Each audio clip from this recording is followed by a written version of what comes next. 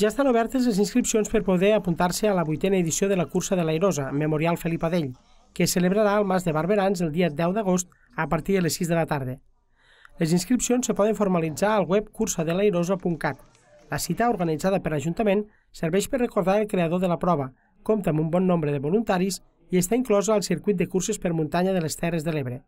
Cristian Adell, director de la prova, explica que mantenen el format de la passada edició conserva els tres recorreguts que ja vam establir l'any passat, és a dir, el circuit absolut de 1.400 metres de desnivell positiu i 21 quilòmetres, la cursa express de 16 quilòmetres i 800 metres positius i finalment una marxa per a tots els públics de 9 quilòmetres amb 450 metres de desnivell positiu. Tots els recorreguts surten del Mas de Barberans i acaben al Mas de Barberans i presenten els trets característics de les muntanyes dels ports, és a dir, una part més rocosa, que és la que dona al mar, però ràpidament tendint-se a la part més